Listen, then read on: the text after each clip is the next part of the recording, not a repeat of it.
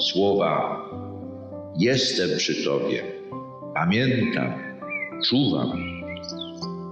Są bowiem zarazem wyznaniem miłości, którą pragniemy odpowiedzieć na miłość, jaką jesteśmy odwiecznie miłowani. Moi drodzy, czy wysyłaliście sobie kiedyś walentynki?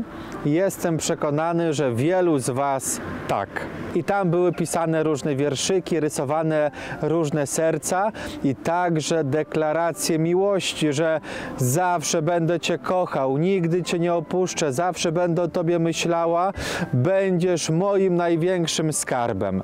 I myślę, że to były piękne wyznania tej młodzieńczej miłości, czy tego, co miało te pierwsze rysy miłości.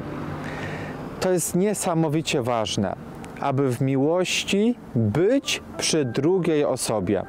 To daje nam poczucie bezpieczeństwa, że ktoś nas naprawdę nie opuści i właśnie takie słowa są zawarte w przysiędze małżeńskiej oraz, że Cię nie opuszczę aż do śmierci, że będę przy Tobie czuwał, będę przy Tobie czuwała, będę zawsze. I tak naprawdę taką deklarację miłości pozostawił dla Ciebie Pan Bóg, Pan Jezus.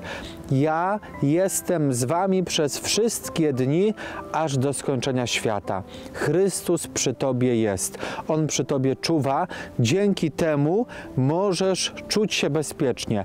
Dzięki temu możesz naprawdę czuć się osobą kochaną przez kogoś, kto Ciebie kocha, kto pragnie przy Tobie być i kto pragnie dawać Ci najlepsze dobro, a co jest piękniejszego niż najczystsza miłość Pana Boga. Tak więc trwają te trzy: wiara, nadzieja i miłość. Z nich zaś największa jest miłość, bo Bóg jest miłością.